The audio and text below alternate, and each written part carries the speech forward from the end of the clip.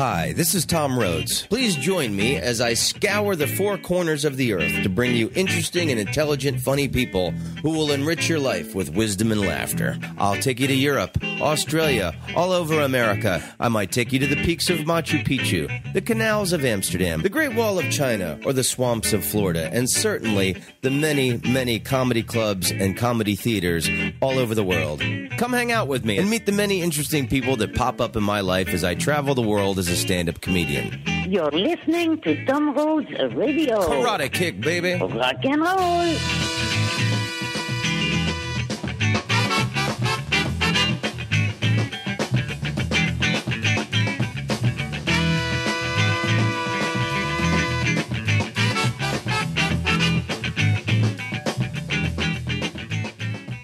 Hooray! And welcome to Tom Rhodes Radio Smart Camp.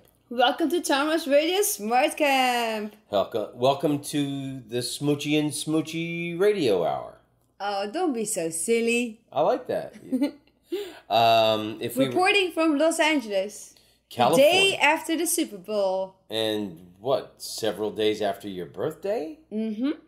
Uh, we had a great weekend. Uh, I just celebrated my thirty fourth year as a comedian. What? And uh, hey, let's start out with a quick commercial. If you want to support uh, the Tom and Ashna, um, I want to say empire, but we live in a one bedroom apartment. That's not really an empire, is it? The mom and pop business. If you want to support the Tom and Ashna House Mom and- slash mom and- studio slash writing room. the Tom and Ashna um, mom and pop organization that is um our podcast and everything. Uh, if you want to support us, you can go to iTunes and purchase my brand new album. It's called All Hail After. And you showed me it's ranked like 18th on the comedy list right now. So if people buy it uh, or comment, maybe it'll go up higher on the listings, right?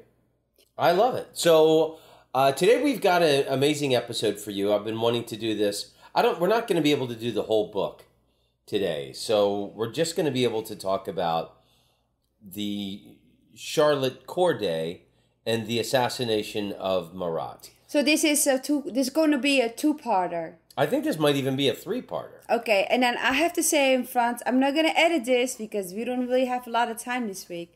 So I'm just gonna pop it in the oven and put it out for you on the iTunes. Nice. So, I've just finished reading this book. Uh, I started it in December, and I know I've mentioned it a few times on the podcast, but this incredible book called Paris in the Terror by Stanley Loomis. And where did you find it? I think I found this at the Charlie Byrne's bookstore in Galway, Ireland. Mm, that's a great bookstore.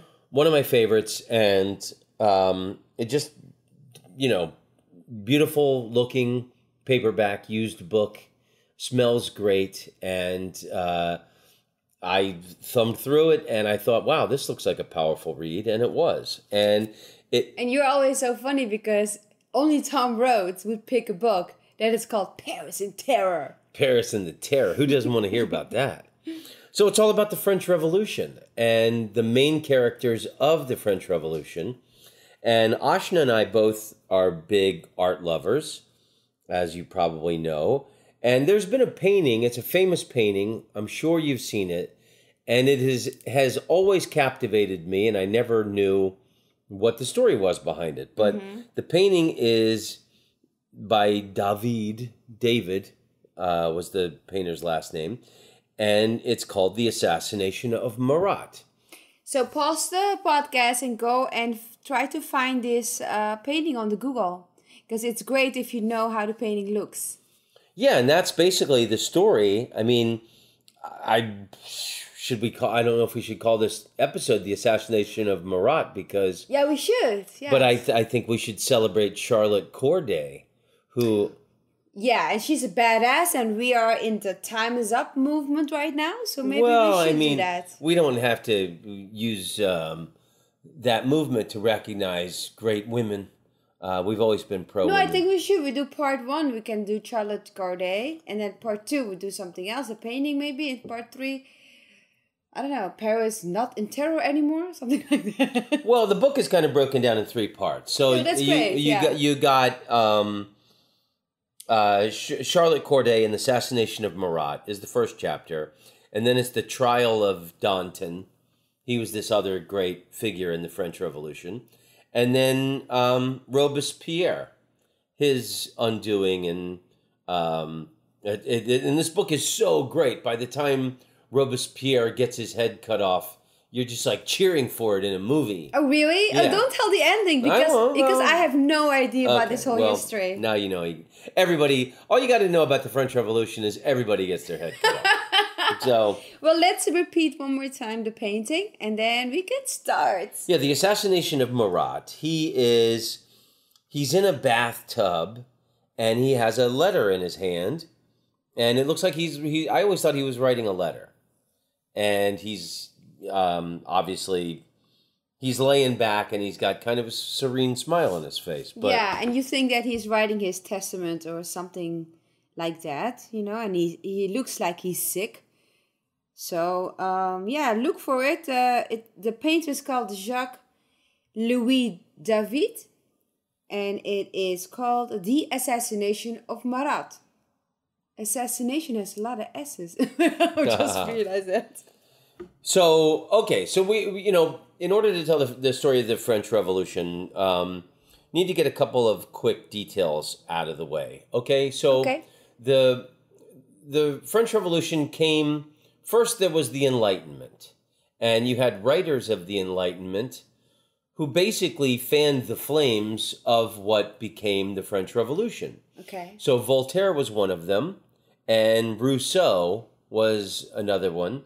Um, and you know, it's interesting. I've talked about it before that Rousseau and Voltaire were the rivals. Oh, I love that story. They hated each other's guts, and they used to write criticisms of each other in the newspapers. And that was the 17th century equivalent of um, having a Twitter bitch fight today. um, so, or I guess it was in they were in the 1700s, early 1700s, because the French Revolution happens at the end of the 1700s. So it was Rousseau's fault and and Voltaire's fault, and King Louis the Sixteenth, who was Marie Antoinette's husband, and they both got their heads cut off.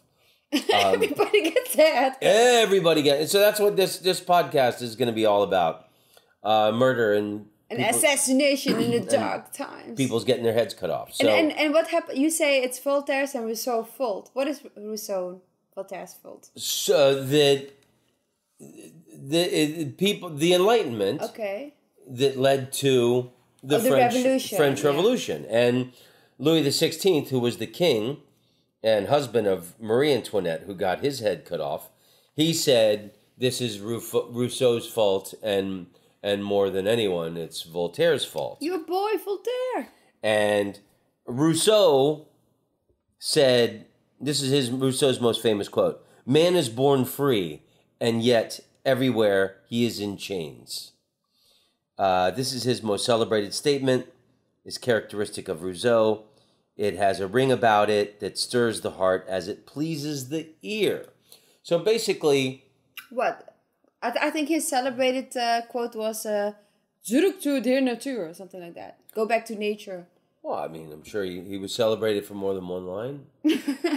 but, um, but basically, the Enlightenment back then, you had kings running everything, and then you had the church, and they got they're the richest people, and they're making all the decisions, and they're saying, you know, hey, that you know pig farmer over there looked at me with in a cross way, or he said some shit about me at the you know.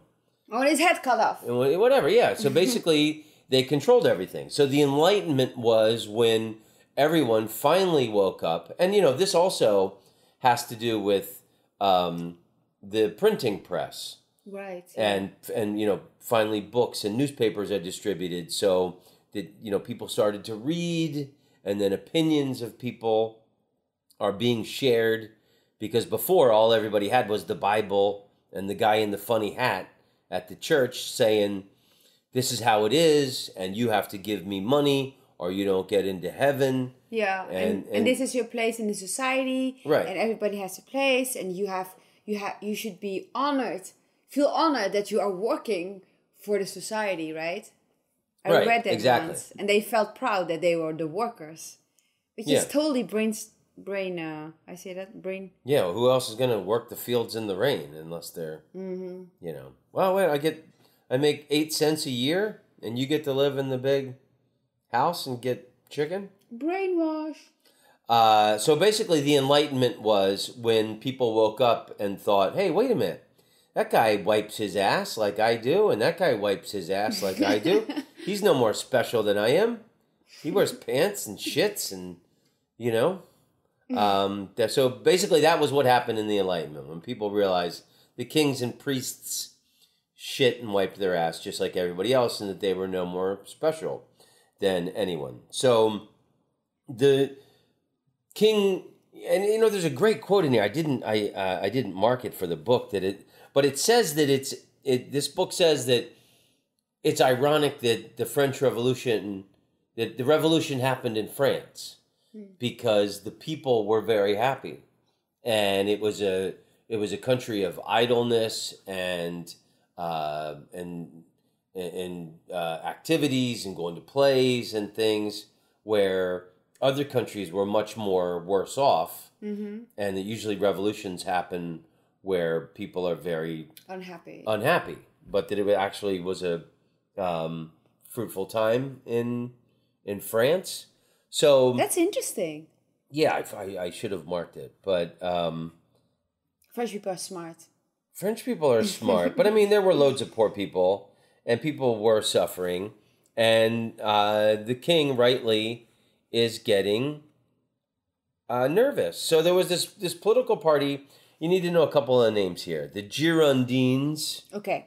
which were these people in charge, who at the beginning of the French Revolution, um, they had to flee, and they were making these.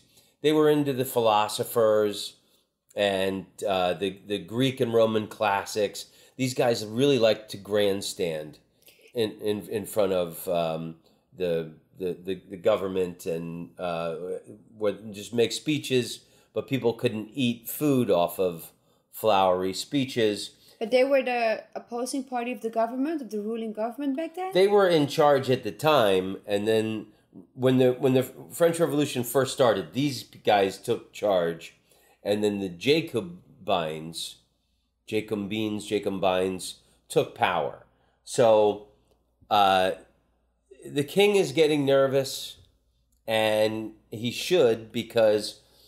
So some of the Girondins got their heads cut off, and then the Jacobines took over, and the Jacobines, led by this guy Marat, who's in the bathtub in the famous painting. So, so Marat had a newspaper of his own, and the newspaper was called L'Ami du Peuple, the friend of the people. and Marat had he had wanted to be a scientist, but he had failed, and you had to get um, approved by academies to be even you had to at least have a, a paper accepted by an academy of the sciences. This guy had was had jealousy. He couldn't really he couldn't his theories were bullshit.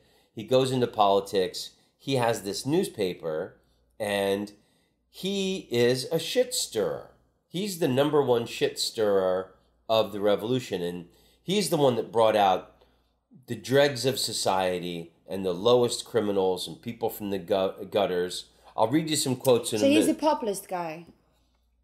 Is he? Populist, yeah, but so he's he used the The anger of the people. the anger of the people to incite, and it wasn't everyone in the country. It really makes you see, like, like in the United States now, how uh, you know how like Trump is stirring up these this, this small group of people who fucking believe anything, and it's like really um, I don't want to say uneducated people because not everybody who's a Trump supporter is uneducated. There Yeah. are there are very many smart, wonderful wealthy people who support him.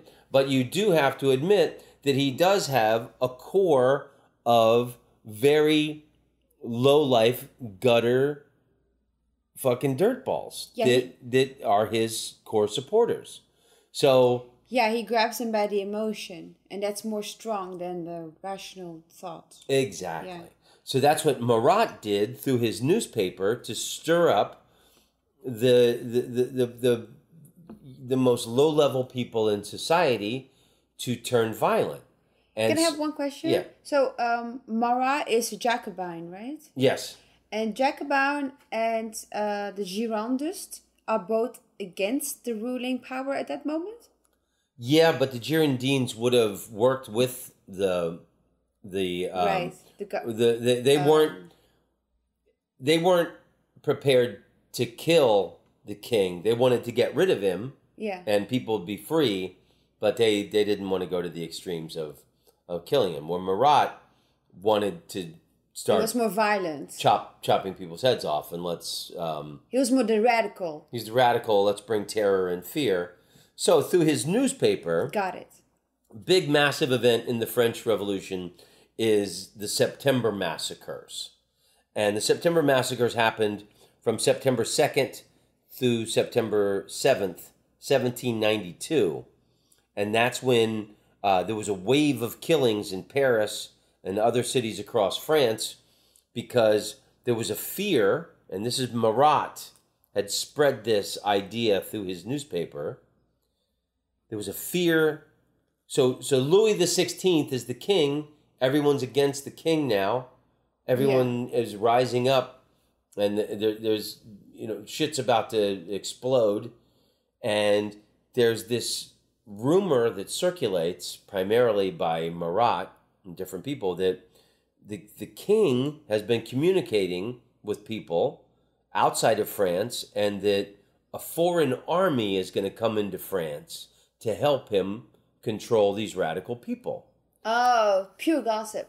Pure gossip. A lie. I Fake mean- news. Lie. Well, you know, the all the royal families were connected. Maybe he was writing letters to his um, relatives and wherever. And um, Marie Antoinette was from Austria. Right. You know, hey yeah. man, there's gonna be some shit here. You want to send over some armies? Yeah. Who knows what? But um, I'm I'm not saying that the king was completely Innocent. innocent, but that this is the climate that led to the September massacres. Okay. So there's this fear that foreign armies and a royalist army, the uh, uh, army loyal to Louis the Sixteenth, is going to attack Paris, and the rumor says that these armies, when they get to Paris and France, are going to open up the prisons and let all of the prisoners out, and that the prisoners are going to rise up against the people and fight with these foreign invading armies. So, the September massacres, stirred by Marat, are going all over. They, they went throughout Paris killing people, but they went to the prisons and killed over half of the population of the people who were in the jail. But also, they killed anyone that they thought uh, they could say, hey, man, those people are connected to it. Right. It yeah. wasn't just people in the prisons. That's just another added element of cruelty that happened in the September massacres. Wow. Are you following me? Yeah.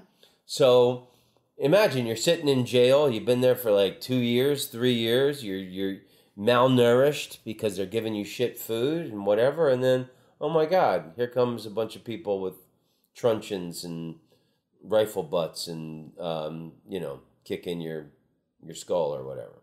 That's so interesting. So before shit was about to supposedly happen, they killed the prisoners in fear that it would happen. Yeah, just on a rumor. Just in a rumor. stirred up by Marat. The country, everybody's riveted to the news. Everybody, like in the provinces, people had read Rousseau. So this girl, Charlotte Corday, she's from this uh, a little town outside of Caen in Normandy, France. her mother had died and her older sister died, and her father remarried another woman. And so her father sent her to a convent, like a religious abbey school in Caen. And I've been to Caen. It's a charming, wonderful seaside village in Normandy, France. And she has access to newspapers and everybody in the country this is they're riveted to the the news of the revolution and so she had read rousseau uh, people were inspired by the idea of uh, you know from the enlightenment that you know we could have a better life without a king and we can be um, and we can have liberty and in, in france at the time a, a republican was the you know, someone who was from li- li- for liberty and, and justice. She had been exposed to the writings of, of Rousseau. One of the things about Rousseau, is, and it, it pops up back again and again during the French Revolution, is they keep using the word virtue. Terror without virtue is bloody. Virtue without terror is powerless. It's something kind of unexplainable that keeps popping up, this stupid word virtue. And it or Robespierre uses it. Uh, Wait, where's your Robespierre? Who's he's that? way way at the end. Uh, I'm sorry, I that was basically a brain fart. What I just did there. I hate that word, brain fart. Okay, I like the word riveted. You just said it two minutes ago. riveted. Riveted. Uh, and Marat had this terrible skin disease. He was an ugly person. He smelled. People, his own party wouldn't even sit next to him. At the um, first, it was the Revolutionary Tribunal, and then there was like the council. But the way that the people were positioned, there was one kind of bleachers, and they called that the mountain. The guys that sat there, and uh, it was it was an interesting arrangement of the people. But Marat, uh, in his paper, like people wouldn't even want to sit next to him. Like people, he was reeking. and he, they were afraid of him, and He uh, was just angry and angry. he was angry. His whole life had been a failure, and now this is his revenge. And he keeps talking about the people and the virtue of the people. That's why I brought up virtue. But he didn't give a fuck about people and not give a fuck about virtue either. uh, or virtue. He just um, was a guy that wanted revenge on on every human being he could take revenge on. So this is uh, Marat. Marat says, "I am the rage of the people," he declared. And indeed, in that sick and twitching face seemed written the past suffering and the approaching vengeance of all the beaten, rejected, and despised. Dressed in greasy rags, caked with filth, racked with, by disease, Marat made the strongest tremble and the boldest keep his distance. It was noticed that even the men of his own party chose not to sit too close to the reeking and unwashed figure of their leader, whose skin was covered by the scabs and pustules of eczema, rumored among the ignorant to be, in fact, leprosy. Um, and here it says the overthrow by Marat of the Girondin deputies on that day, June, on that June day in 1793, marks the real beginning of the reign of terror. So he had this really bad skin disease, and he had to go soak in this copper bathtub every day to alleviate his pain because he was so um, fucked up and in pain with whatever skin disease that he had. I kind of feel sorry for the guy. I don't. It seems like he was a rotten bastard who kind of got what he deserved. Didn't you think? Mm, maybe he would have been a nicer guy if he didn't have that skin disease. Okay, that's a good point. That's it's very benevolent.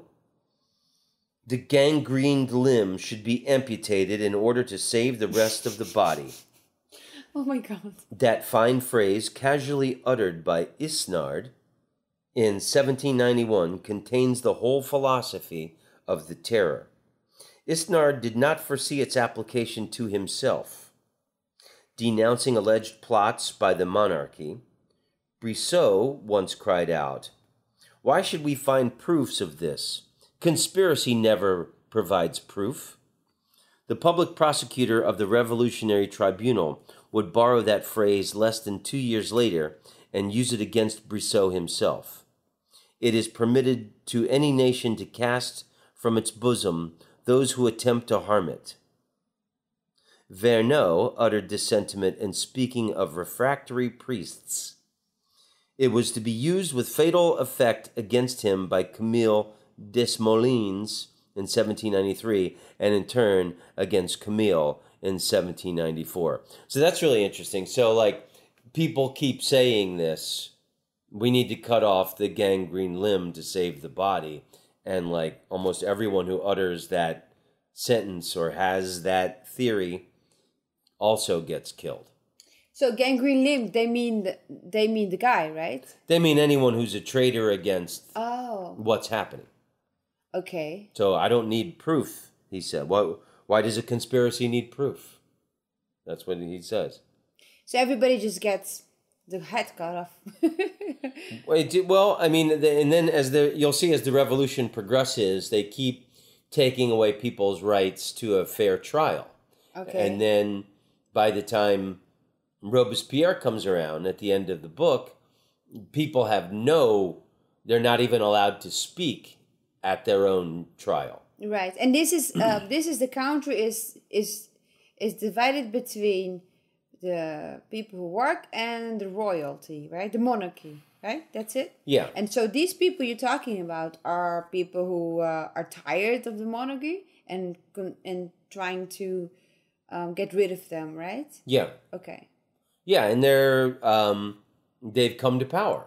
Uh, I think Marat through his newspaper, then he enters politics, Okay. and um, So, but what you mean he enters politics? But because there's no government at that moment, right? there is a government. Oh, so you already have that three. That's why I explained the Girondin Government- party, Yeah. and they fled when the Jacobins took over.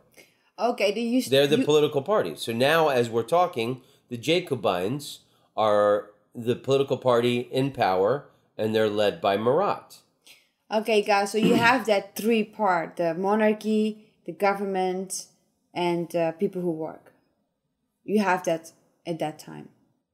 Yeah, then there, there's also there's also the religious leaders. And religious people, yeah, yeah. And once the revolution gets going, they there's a wholesale slaughter of priests. They were against any kind of structure of society that had been known. They thought this is the new way we're gonna do shit. So um, I'm sorry, I'm a little bit. My history is not so. Um, the history knowledge is not so bright at the moment. Is it after the French Revolution that they got the other that they got a different, um, you know, the égalité, égalité, fraternité. Fraternité, égalité. That's after the French yeah, that's from the French Revolution. Okay. But uh, yeah, after basically, because none of these people in this book utter those words. Because then it's divided between a, a ruling a court system Justice jurisdiction and then you have the government and then you have it's not the the class system that we just you know talked about about the priest the monarchy but because now it's okay you got a court that's independent you got a government that's independent kind of what we have right now And I think, you know, had the king had any idea, or any king had any idea, press was basically a new thing. You know, how ideas would have swept and changed people's uh, loyalties and opinions, I, I think they would have banished it banished yeah. it, you know. But that's why, like in Voltaire's time and Rousseau's time, if they didn't like what a writer had said, they would burn his books. And if they really didn't like what the writer had said, they would burn the writer. so uh, there were constant book burnings. And then you had guys like, um, what's his name? The Marquis de Sade, who wrote all these dirty yeah things that, that sold, you know, so people are still people then yeah you know, not everybody wanted to buy a political opinion sheet. Some people wanted a dirty, soft porn yeah, little little porno. scarlet letter Right. Well, do you know what the Scarlet Letter was? um no Because the Scarlet Letter comes from when the early settlers came to the United States in New England, and the Scarlet Letter. That's a book that everybody had to read as a kid in school. Really? In the United States, that's was one of the mandatory. But the Scarlet Letter was uh, A. and you had that sewn on your clothes, women, uh, if they committed adultery. Wow. Yeah. So that was the, the Scarlet Letter. In the Revolutionary Tribunal of the French Revolution, people who go get their heads cut off, if you had committed treason against um, the, the, the, the country, you were sent to the guillotine with a scarlet burgundy hooded robe, which our girl here is going to be wearing. Okay. Okay, so all this shit's happening in in France, and so Charlotte Corday, like everyone is in France, is riveted by the events that are happening. You know, And everything's happening in Paris, right? everything's happening in Paris, and it's yeah. determining the whole country. It seems from the people in the countryside that it's just lawless gutter trash in Paris have taken over. Charlotte Corday, she's 24 years old. She grew up reading the, the Roman classics, the Greek classics, and she sees herself as like a, her imagination is she's a, I mean, like anybody who's a dreamer, like sees themselves as the hero of their life story.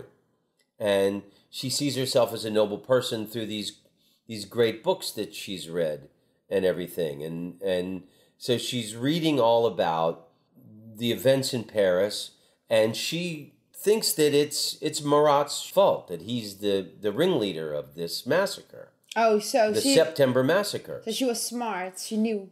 So, like a lot of people, she thought that the revolution was a great thing for France and that we can be free and rise up and we can be better human beings mm-hmm. without a king and priests running our lives. And then the September massacres happen, and then people think, wait a minute, this isn't noble. This is bloody, murderous fucking criminals have taken over. Yeah. So she, her brain starts to to to think, you know, what she should do as the hero of her life story, and there's a really important letter. What is this? Yeah, I ran out of bookmarks. Can I say it? Sure, I had to use a piece of toilet paper. Okay, so this priest writes this letter, and everyone in France reads this. This has a big uh, effect on, on Charlotte Corday. She reads this in the newspaper. This priest is 80 years old. Who does he write this letter to? This letter read before the assembly. Oh, it's for the assembly. 1791 is an extraordinary document that has too often been ignored by historians. It should be quoted not only because it is directly connected with Charlotte Corday's assassination of Marat, but because it describes clearly the condition of France a few weeks before the king's flight, a moment when the revolution might have taken another turn. Okay, so he says, returning to this capital after a long absence, my heart and thoughts are turned towards you. You would have seen me before the feet of this august assembly if my age and infirmities allowed me to speak to you of the great things which you have done and those other things which now need be done in order to establish in this unhappy land that peace, liberty, and happiness which is your intention to procure for us. Not long ago I dared to speak to kings of their duty. Suffer me today that I speak to you, people, of its mistakes, and to the people's representatives of the great dangers which menace us. I shall not hesitate to say that I am profoundly grieved by the crimes which are covering our nation in mourning. I am appalled to realize that I am one of those who, once battling against arbitrary power, may have given arms to license rather than to liberty. You cannot without fail, without you cannot without falling into the greatest error attribute to us the false interpretations which have been made of our philosophy. About to die, very soon to leave this great family whose happiness has been my life's most ardent wish. What do I see about me? Religious dispute, civil dissension, fear on the part of some, tyranny and ambition on the part of others. A government which has become a slave to the forces of the gutter, and become a sanctuary for men who want altern- alternately to dictate or to violate the law. Soldiers without discipline, heads of state without authority, ministers without means, power over the state existing in certain clubs where gross and ignorant men pass judgment on political matters. So he's talking about how fucked up the situation is across the country. All France is now divided into two distinct groups one of decent people, moderate spirits who stand aside, dumb and appalled, while the other group of violent men terrifies the nation and ferments a frightful volcano which vomits forth a lava capable of destroying us all. I have gathered all my strength to speak to you in the austere language of truth. Forgive my zeal and the love which I have for my country, should my remonstrances appear too free. Believe in my ardent wishes for your glory as well as in my deepest respect for you. He's ringing the bell of alarm and he's he's telling the government assembly that shit is really fucked up. Things are frightful in France. Charlotte Corday basically takes it on herself that she is the person who is going to straighten some shit out. Okay, here's some more of uh, Marat's. Rise up, you unfortunates of the city, workmen without work, street stragglers sleeping under bridges, prowlers along the highways, beggars without food or shelter, vagabonds, cripples, and tramps. Cut the thumbs off of the aristocrats who conspire against you. Split the tongues of the priests who have preached servitude. Wow. Cut off the thumbs of aristocrats? Split the tongues of priests? That's the kind of shit that he's writing to rally people to turn to violence. By his compulsive, brisk, and jerky walk, one recognized him as an assassin who had escaped from the executioner, but not from the Furies, a man who wished to annihilate the whole human race. You're talking about Marat. In any case, the poor, the derelict, and the dispossessed do not always want or need pity. Many of them are more interested in vengeance. And, driven by his own anger, Marat was prepared to offer vengeance in full. I am the rage of the people, he pronounced. They were words to make the complacent and the prosperous tremble. Charlie Corday had read all these things. She's a Norman woman, every fiber of her soul. They go to great lengths in this book to, to talk about what a perfect, typical specimen of someone from Normandy. She was descended from knights. People from Normandy, they counted it more important for a man to be brave than to be rich. Oh, so they they kind of um, try to explain that it's in the culture. Well, they, they um, just. The culture helped her. She's from a small area in France, but she never saw herself as a loser. She always saw herself as a very noble person. And that, you know, Normans are descended from, from knights. And, um, and, you know, Vikings hit the coast too.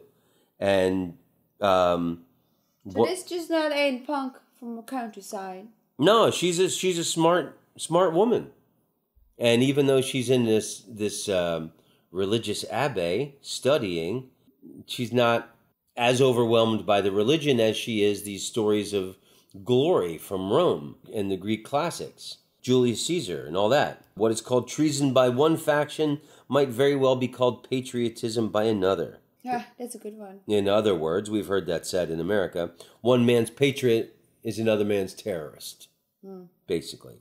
So she lives in the in the imagination world. Make a note of this. For this is funny. Robespierre makes this speech, and he make he used to make long speeches, long winded.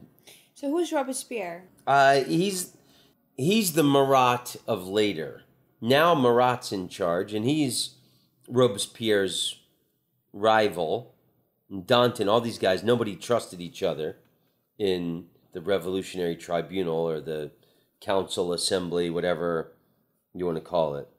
So he gets up to make this speech. Everybody here knows how much I dislike making long speeches. No one laughed. Their sense of irony, not to mention humor, had long since been put into storage by most Frenchmen. It was not to be taken out again for many months. Robespierre disliked levity. In his thousands of recorded words, there is not a sentence, not a turn of phrase to suggest that delicate fusion of irony and gaiety, that laughter, which has always been the heritage of the French of every class. Okay, I guess I just wanted to read that because it mentioned laughter. I thought so. Okay. The National Convention indeed had come to such a pass that it now submitted to any group of petitioners, however small, from the Paris sections. So the different neighborhoods of Paris were called sections, and they each were given leaders during the revolution. Right. And you had to, this comes later after uh, the assassination of Marat and the king loses his head, but you had to get a good certificate, a, a, um, a good citizen certificate from your section leader. To do what? Oh, you always. or else you were um, people thought you were suspicious of and you could get your head cut off so the paris section leaders now they have power and a lot of them were drunks and losers and now they are getting bribes and whatever from Oh, I see. you yeah. know uh, you got to stay on their good side or or you know if you don't uh, I, I don't give you my new butter churn you're going to have my whole family executed type thing or now i have to you have to set my you want to have sex with my daughter or whatever you know um, fucked up thing they wanted Yeah. so it gave all these all these real criminals had too much power so the National Convention indeed had come to such a pass that it now submitted to any group of petitioners, however small, from the Paris sections. These raucous and ragged deputations, as they were called, burst into convention at every hour of the day, rudely interrupting its sessions with many demands and threats. The convention, part of it terrified, part of it in collusion with the schemes of the commune, always listened with a groveling deference to the caterwauling fishwives and drunken hoodlums who comprised the deputations. So those were the the neighborhood people. The bosses, you had to kiss their ass. Charlotte Corday gets it in her. She's she makes this plan. She's like, and Caen is a two day ride from Paris.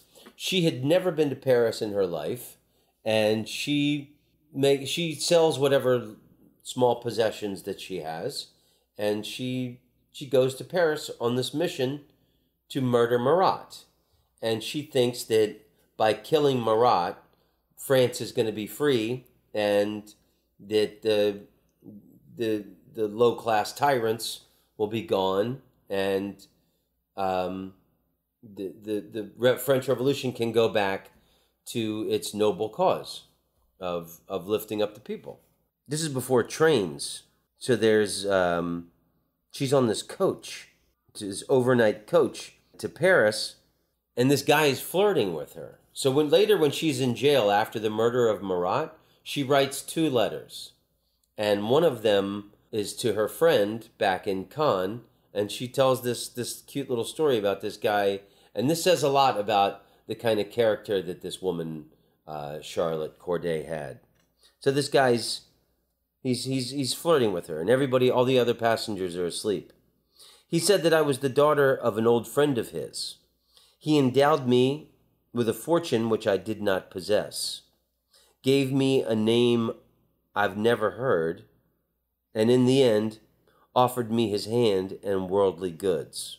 Basically saying whatever he can say to get into her pants. Mm-hmm. So she says to this guy, This is a comedy we are playing. I said when I began to grow tired of his attentions. It is a pity that so much so much talent as yours should not have an audience.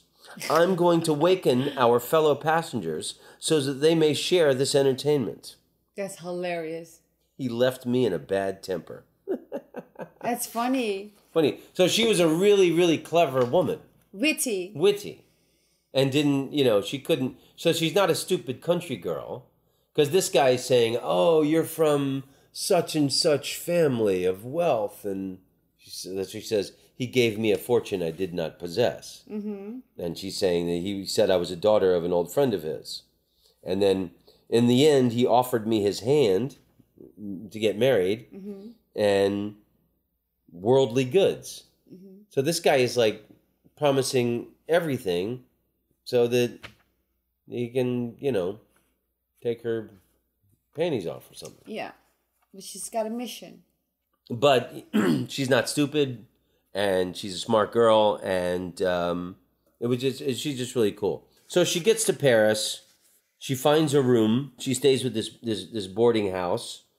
170 years later, the historian must view the brief meeting of these two people, in appearance so different but beneath bound by a ruthless and exalted determination that made fanatics of them both, with an astonishment equivalent to their own. No scene in the Revolution is more peculiar. It flickers with a hundred obscure ironies and invites a hundred idle reflections that range from the aesthetic to the political. Um, What? what so she's talking about he, the, the book is talking about Marat and Charlotte Corday. They're, they're both fanatics. So basically, here's what happens. So she comes to town, and she gets a room. She's never been to Paris before in her life, and there's this there's one guy who works for the Girondin party, and his name is Barbado, or he's in the. She had read about this guy in the newspapers. And so she had written him letters um, and asking for, I forget, it was a friend or an aunt of hers had some political dispute. Back then, legal disputes could go on for years, even beyond your death. Like if we had a dispute over some land, it could go on for generations. So she had written this guy Barbado about.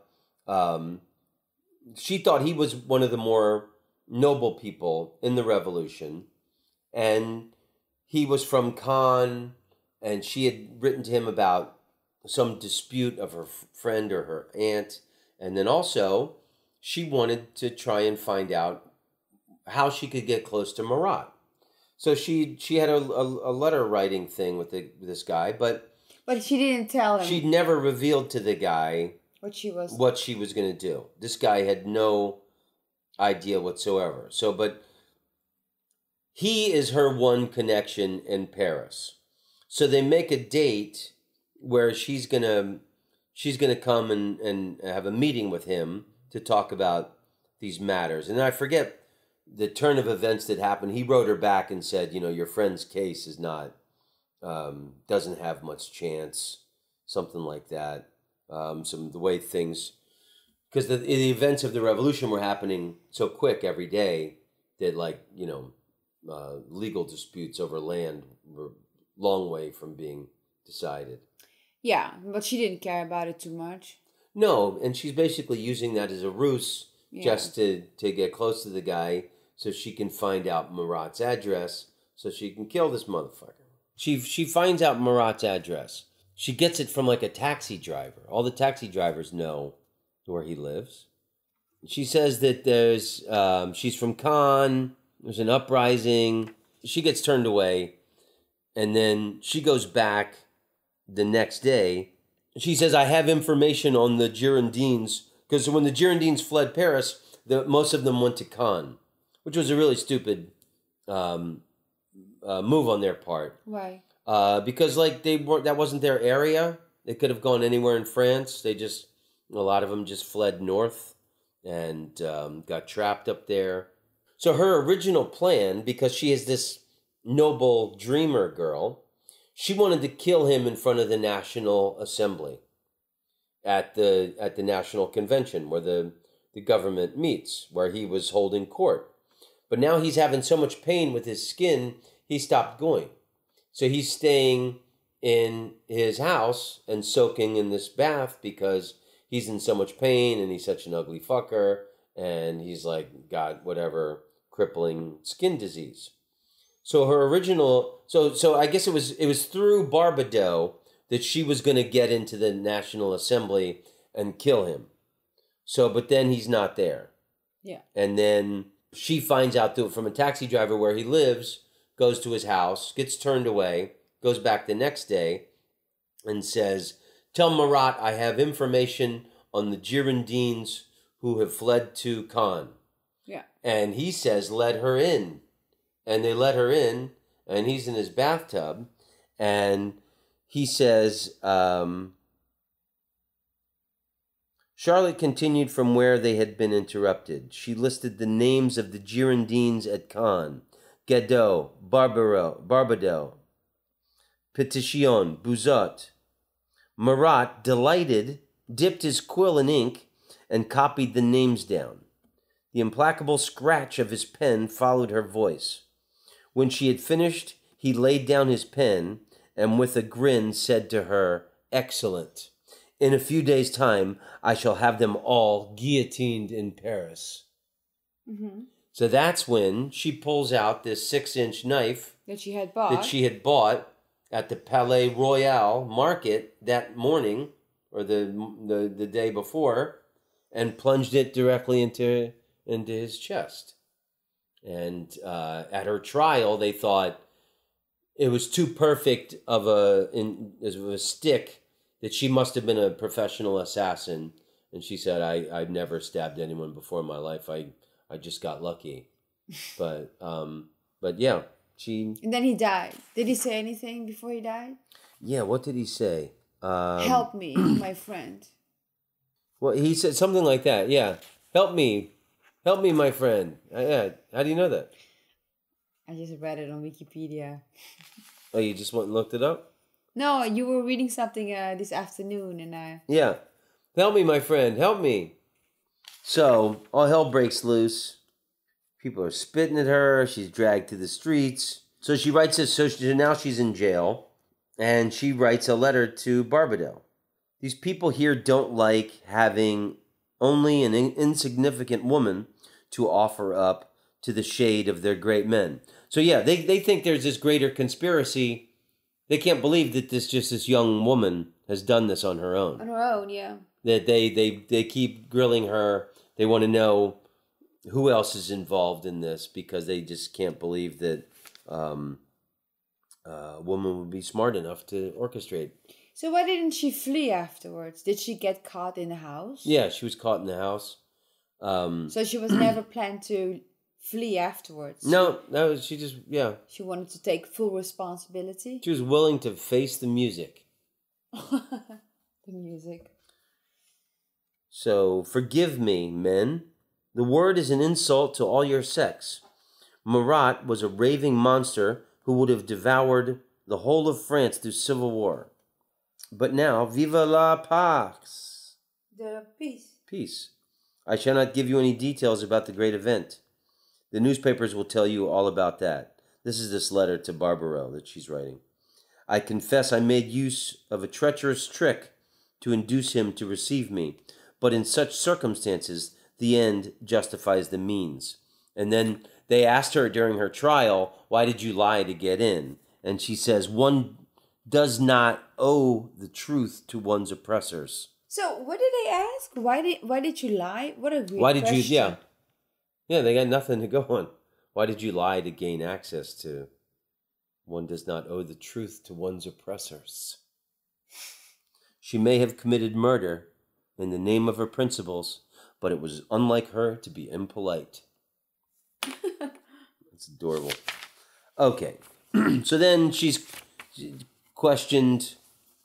These questions come up at her trial too, but this is when she's interrogated.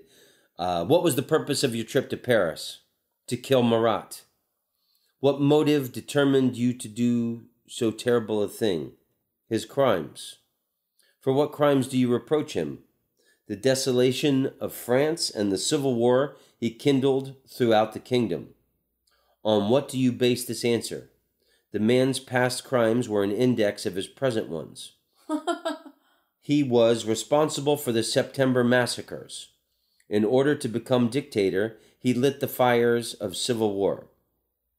He violated the sovereignty of the people this past June by causing members of the convention to be expelled and arrested. That was the Girondins. Uh, they inquired into the details of her three day sojourn in Paris and her murder of Marat. Her answers were direct and clear. How did you kill him? With a knife that I bought at the Palais Royal. I drove it through his chest. Did you believe that in doing this you would kill him? That was assuredly my intention. Eager to find accomplices, they asked the next question.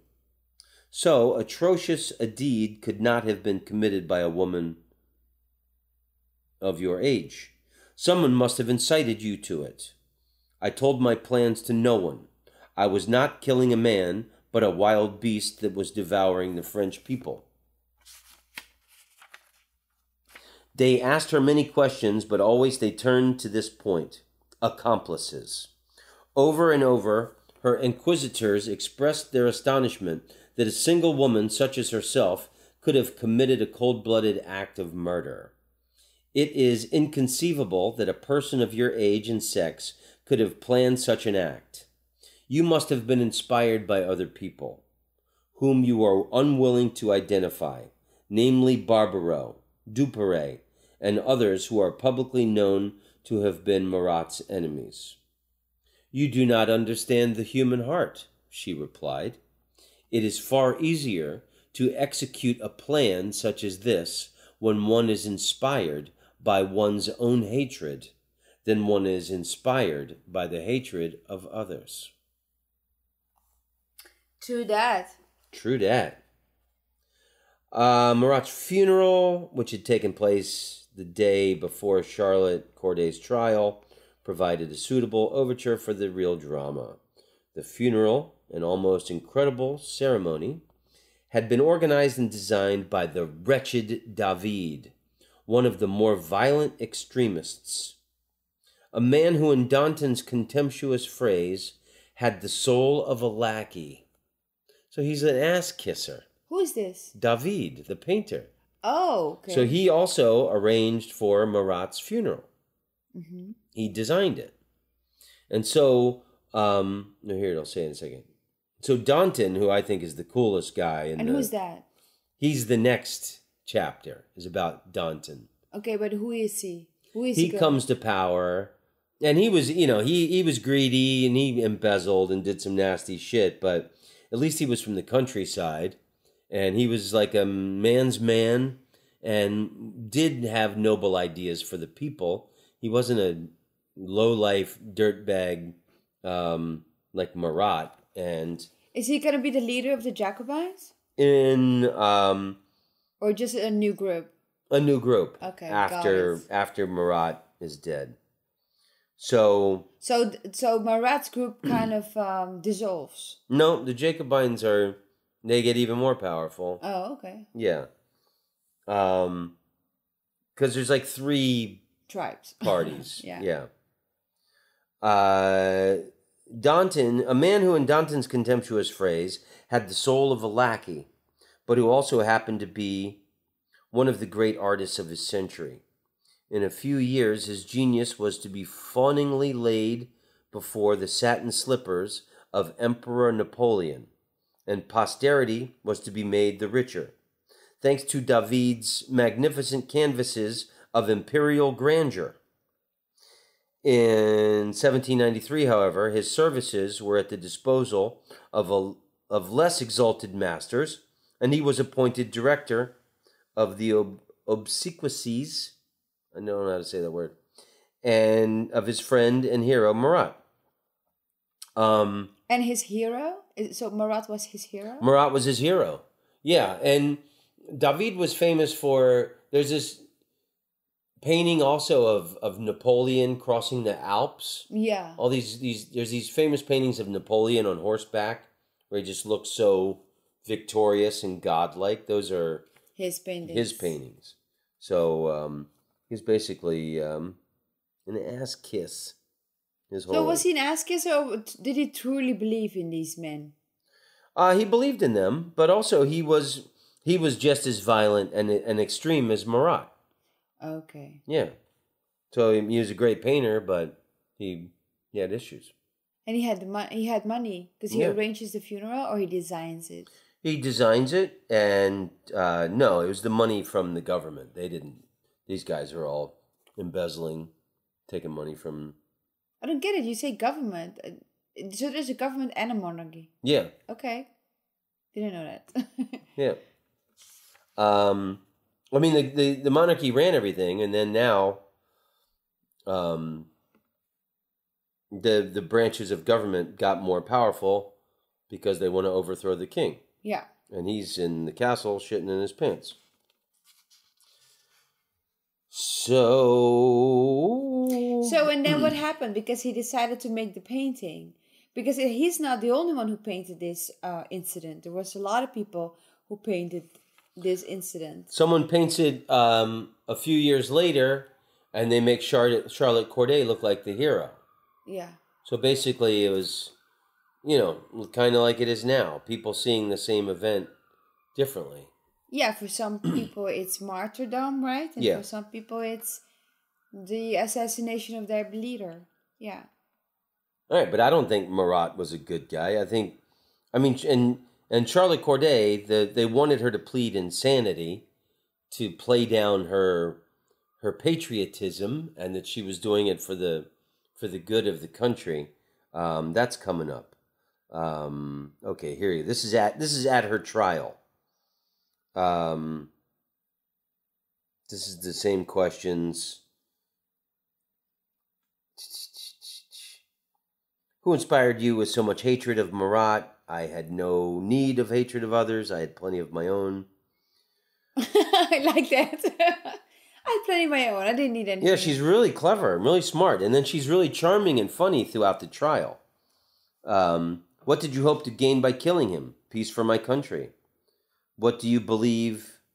But do you believe that in killing him, you have killed all the Marats? This one dead, the others perhaps will be afraid. The president of the assembly reproached her for having used subterfuges in order to gain access to Marat. She admitted readily that such methods were not worthy, but she said that anything was justified for her for the salvation of her country. How could you regard Marat as a monster when he generously gave you an interview after you wrote to him that you were persecuted? What could his humanity to me matter if he had been a monster for so many other people? It is only in Paris that people have been hypnotized by the man. In the provinces, he has always been regarded as a monster. The newspapers which you read must have caused you to believe that Marat was an antichrist. Yes, I knew that he was perverting France. I killed one man in order to save a hundred thousand. I was a Republican long before the Revolution, and I never lacked energy. What do you mean by energy? Her answer to this evoked a murmur of respect from the fascinated gallery. That resolution which is given to people who put their private interests aside and who know how to sacrifice themselves bravely for their country.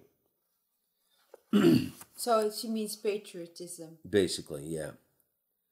The knife was now brought to her for identification. She considered it for a moment, then said, Yes, that is the knife. I recognize it. According to the comment of a court stenographer, a tremor in her voice here betrayed a certain agitation that was not present in the words. Fulkier Tinville pointed out that the blow had been skillfully dealt. If her stroke had not been delivered at that exact angle, Marat might well have survived. You seem to be very well practiced in this sort of crime, he said sarcastically. Her answer to this insinuation struck the courtroom like a thunderbolt. It echoes, its echoes have reverberated into history. So he says, You seem to be very well practiced in this sort of crime. And here's her comment that echoes into history. Good heavens, she cried indignantly. He takes me for an assassin. During Charlotte's exchanges with the judge and the public prosecutor, she happened to notice an officer of the National Guard who was sketching her, who was making a sketch of her. She smiled at him encouragingly and shifted her chair slightly so that he might have a better view of her face. Funny. The name of the guardsman was Hauer, and after her condemnation, she was able to arrange for him to come to her cell in the last few hours that preceded her execution to finish the sketch. Facts persistently belie Charlotte's assertion that she wished only anonymity. She was entirely aware of the effect she was making in the courtroom. There is evidence that she had one eye turned towards posterity as well. So. It's kind of a strange thing because they wanted her to plead insanity yeah, because they did not want to stir up a lot of people thinking, oh, you know, this has been um, a well thought terrorist act, and this could be uh, stirring up a lot of patriotism in uh, in a lot of uh, people. But on the other hand, they wanted her to admit that she was an assassin. So it's kind of a strange thing. yeah, it's it's a very bizarre story, and then these people were were rising to to power unhindered. Nobody could stop them. Yeah. Everyone's afraid. Even the the king and his family are afraid. Oh yeah. What what was a king go? What was Yeah. going through the mind of the king? Well, they've been arrested. The king has been arrested, and their family are in they're in this tower prison. oh, I did not know that. Yeah. When did that happen? Well, that's yeah. That's they're in prison. That they have not been arrested yet, but they're about to be arrested. And this is when the French Revolution continues and gets bigger. Because I think they were in prison for three months before Louis XVI was executed on January twenty first, seventeen ninety three. And when did the they were- I think- assassination happen? they were in prison. I had the Wikipedia, and I, I have not consulted Wikipedia for this. My primary source is this book, but I had Wikipedia up just for these dates. Um, motherfucker. Mm-mm-mm-mm-mm. What day did she kill him? On July 17th, four days after Marat was killed, Charlotte Corday was executed by the guillotine. So she killed him on July 13th. Ooh. Yeah. 1793. Okay, so that's after. So the okay, the September massacres happened and then they killed the king and his family. Oh. So this is after Louis XVI and Marie Antoinette has been executed Okay. because they were executed in January. September massacres, the king is decapitated in January, and then so this is July. So all this shit's happening, and that stirs her to action. We're almost to the end of. That's good I asked that because now you know a little bit uh, Yeah. what happened before she killed him. Yeah, I'm sorry. I should have. Uh, That's why we're doing it together. that's why we do it together, Smoochie. The guy does the painting of her. He does the sketch of her, and then later it's done as a painting, uh, which hangs in Versailles. And he completed it shortly before she's taken off in the wooden cart in her burgundy robe to be executed. How did he paint her? Like a hero or just like It's like a just I, country girl? I, I looked it up. It's it's basically just her face. So she gets sent to the to the guillotine. She embraced the plank on which they bound her almost with joy. The plank was then thrown forward. In an instant later, the executioner released the knife. A great roar went up from the crowd. This applause now inspired the executioner's assistant. Charlotte Corday's head goes into the basket, and then he picks up her head. This guy, uh, Lagos, Lagros. Right? He picked up her head. He lifted her head out of the basket and he slapped it on the cheek. And he slapped it on the cheek? Yeah, Oh, you mean like a bad girl? yeah, What's that? yeah. Very weird. So Lagos, his assistant, eagerly fished the head out of the basket, the wicker basket where the head had fallen, picked it up by the hair to show it to the delighted mob, and then dealt it a savage slap across the cheek. The spectators, aghast, claimed later to have seen it blush. Lagos was severely reprimanded by Samson. Samson was the uh, executioner, as later he was by the authorities for this needless act of brutality. Then he got thrown in, uh, Lagros got thrown into prison for three months. And yeah, because. and, yeah, and then sitting in prison, he decided to drop the R and invent uh, little plastic toys, building blocks that stuck together. I'm. No, I'm kidding. Legos, Lagros. Okay, it was discovered despite rumors and gossip to the contrary that the deceased had been a virgin. They checked her out. Um, they thought that she had been a, a floozy, but it turned out she was a virgin. Her act must be measured on several scales. It was conceived and took place in that shadowy area of things where private standards come into collision with public morality. Against moral considerations, she armed herself with the tenet that an end can justify the means. The heroes of one day are very likely to be the villains of the next. Such rapid changes taking place when the relationship between might and right is highly ambiguous pose an awkward dilemma to today's historians as they did to the men and women who acted in the drama. Those in their hearts still honored the inflexible teachings of France's abjured faith had no difficulty in passing judgment on her. Okay. Okay, so that I guess basically that is that's the story of Charlotte Corday and the assassination of Marat. What do you think? Yeah, it's great. So, so she's being considered today as a badass, Uh in Tom Rhodes' opinion, yeah. as a liberator. She wasn't a liberator. She thought that I mean things turned worse and then there's many more years of the terrors. And then the terrors got even worse and they become the great terrors. And then uh, a little further after that, it became the holy fuck, things are even worse terrors.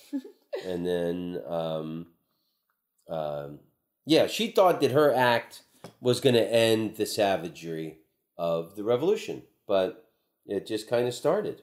But what if what would have happened if he didn't die? If he was, you know, if Corday didn't do it? there was more scumbags.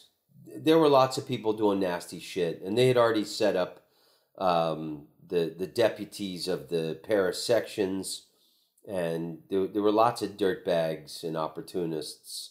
I mean, I don't know. Nothing would have happened. I guess it just But it's I guess it's just an extraordinary story. You got this underdog, you got this woman in a in a grown up in Caen, not even from Paris, and uh, she, she's practically a nun, right? yeah, basically. Basically, and then she just does it in one two days that she's in Paris. In such an incredible, simple way, she does it that everybody's mind is just, you know, blown away and think, "Wow, how could you have done it like that?" and and everybody is busy with conspiracies and putting print you know putting all this gossip into the printing um, into the papers and she just enters the guy's house stabs him and he dies right Yeah, the she- simpleness of it She had never been to Paris before. She's basically like a small town um, girl, woman, and she goes to the to the big city and finds one of its most important people and kills him in a short amount of time, and uh, and has no remorse about it whatsoever. And then proudly, defiantly stands up at the trial and says, "Yeah, I killed him. I hated the fucker." yeah I did it for my country. that's extraordinary Extraordinary. She was a she was a focused assassin who just had her own um, imagination and uh, ideals that led her to do what she did. It wasn't. That's it- right. It, wasn't um, a conspiracy. It wasn't. It wasn't a big plan like an assassination normally is. Yeah. You know, with many different working elements and you know um, plans And people. and people. Yeah, she she did it all herself That's amazing. with a knife she bought in the market. Incredible.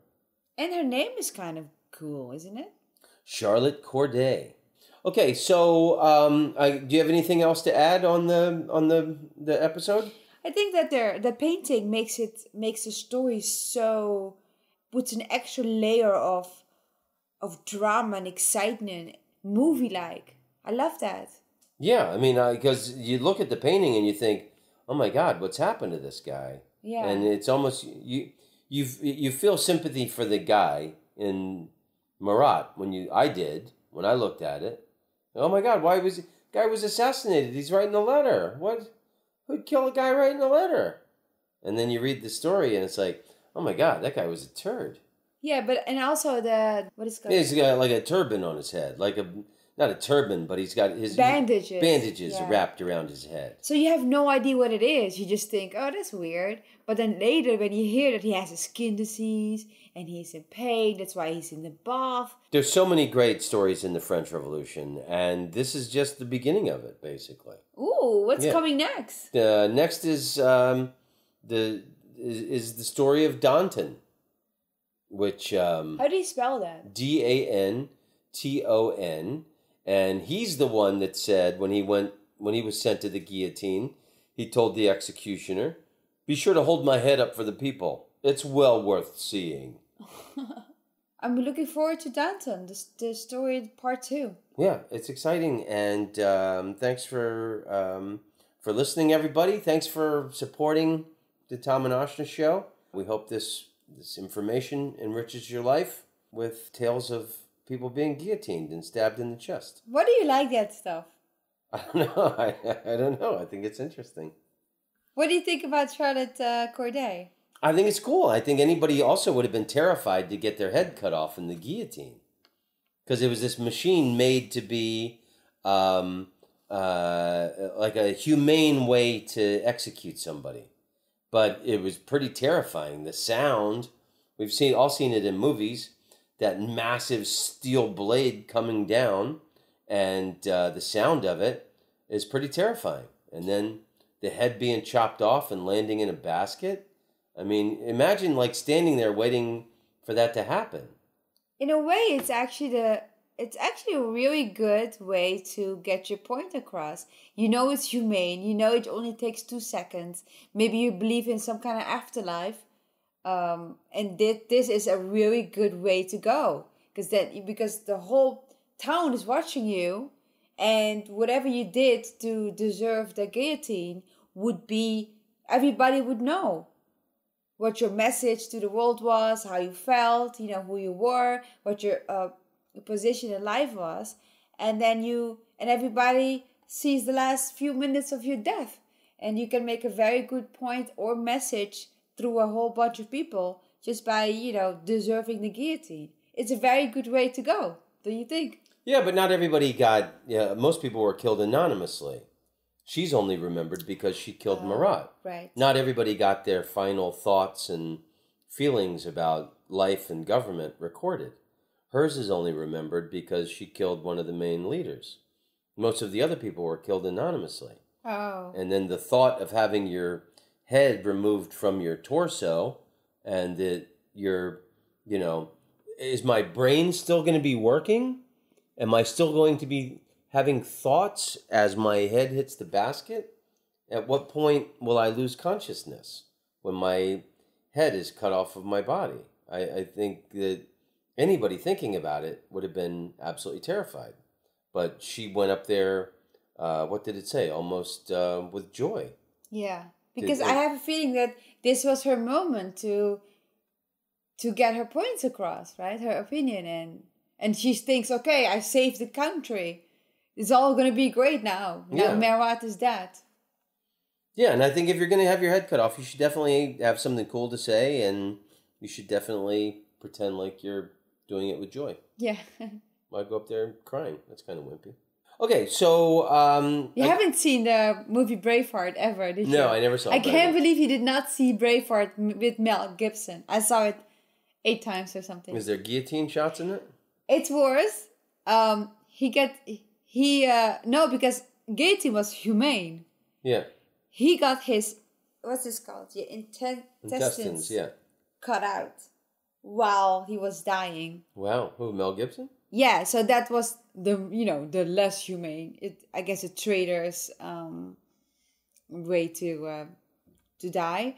And while he is getting his intestines cut out of his stomach or his uh, belly, he says, uh, "Freedom." Ah, cool. It's so cool. It's such a great movie. You gotta see it. All right, I gotta watch it. Yeah. Okay, Smoochie, I love you very much. Let's say goodbye to our Smoochie army.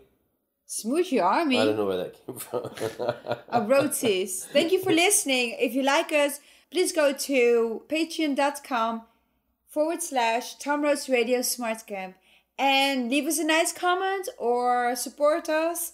uh, send us an email. Uh, buy my new album, All Hail Laughter, and um, help drive it up the charts. And see me when I come to your your wonderful town, wherever you might live. And stick to us for next week. We're going to talk about Danton. Yeah, and hey, man, mark it in your calendar. October fifteenth, I'm gonna be playing at in Paris again at Theatre La Ovra. See it? I think it's it's uh, L'Oeuvre. Louvre. And um, I'm going to film it as my next hour special. So be in Paris with me, excited, and then you can walk the streets that um, these exciting stories of people like Charlotte Corday happened. And we buy you a croissant. We'll buy you a croissant with butter and honey. Yum. Yum. Okay. Long may you run. Shalom, amigos. Hey, amigas. Yay. Hooray for humanity. Hooray for Charlotte Corday. Hooray for Charlotte Corday. Great.